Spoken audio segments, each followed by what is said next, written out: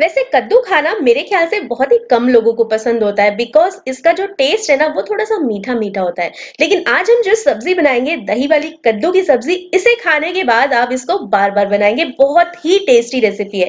रोटी पराठा पूरी किसी के साथ भी सर्व कर सकते हैं और टिफ़िन में भी लेके जा सकते हैं। तो चलिए फटाफट से शुरू करते हैं।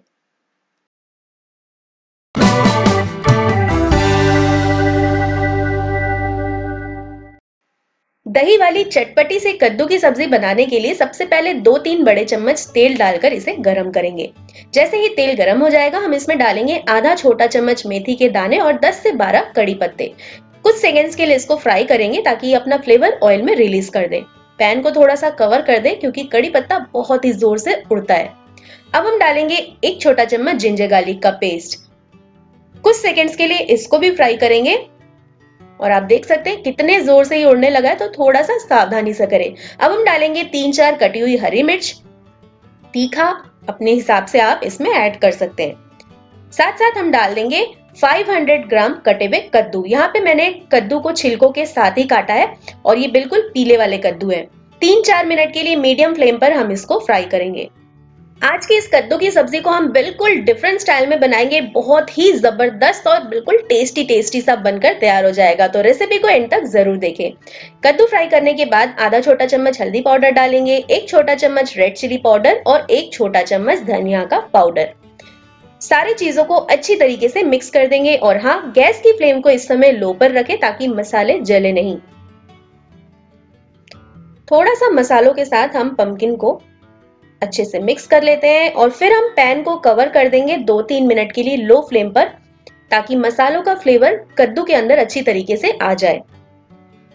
अब दो मिनट के बाद मैंने इसको खोल लिया है, अच्छी तरीके से वापस से चला लेंगे।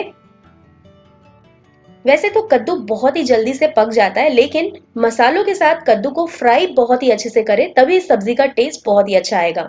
स्वाद अनुसार नमक डाल देंगे और वापस से हम इसको अच्छी तरीके से मिक्स करते हुए थोड़ा सा और फ्राई करेंगे।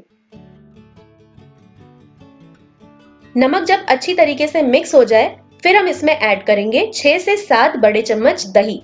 लेकिन दही डालने से पहले गैस की फ्लेम को आप बंद कर दे, उसके बाद आप इसमें दही ऐड करें। क्योंकि अगर आप गर्मा गर्म पकते हुए पंकिन में दही ऐड करेंगे तो दही जो है बिल्कुल फट जाएगा।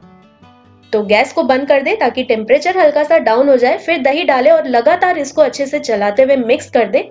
जब मसालों के साथ, कद्दू के साथ दही अच्छी तरीके से मिक्स हो जाएगा, फिर हम गैस की फ्लेम को ऑन करेंगे और नॉर्मली जैसे हम पका रहे हैं, वैसे ही पकाएँगे। तो मिक्स हो चुका है, गैस की फ्लेम को मैंने ऑन कर दिया है। एक दो मिनट के लिए हम इसको पका लेते हैं और इसे हमें लगातार चलाते रहना है। एक चौथाई छोटा चम्मच गरम मसाला ऐड करेंगे और अच्छे तरीके से मिक्स कर देंगे। आज की इस रेसिपी में आपने देखा कि मैंने बिल्कुल पीले यानी कि पके हुए कद्दू लिए हैं जो कि टेस्ट में हल्के से मीठे होते हैं। इसलिए मैंने इस रेसिपी में शक्कर या गुड़ नहीं डाला है। अगर आप बिल्कुल कच्चे वाले कद्दू यूज़ कर रहे हैं तो आप दो चम्मच, दो छोटा चम्मच शक्कर ऐड कर सकते हैं या बिल्कुल थोड़ा सा गुड़ भी डाल सकते हैं। अब मैंने डाल दिया है थोड़ा सा पानी और अच्छे से एक बार मिक्स कर देंगे। पैन को कवर करेंगे और तीन चार मिनट के लिए लो फ्लेम पर हम इसे पका लेंगे। तीन चार मिनट के बाद इसे खोल लेते हैं। इसे हमें तब तक पकाना है जब तक कि कद्दू अच्छे से पक ना जाए। तो एक बार हम एक छोटे से कद्दू को कट करके देखते हैं। तो यहाँ पे जो कद्दू है, बहुत ही अच्छे से पक चुका है तो बस गैस की फ्लेम को बंद कर देते हैं।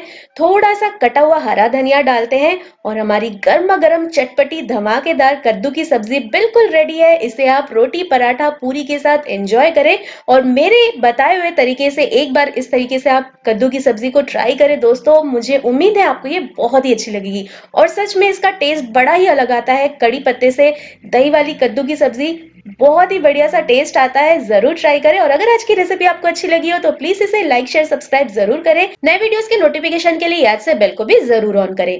Thanks for watching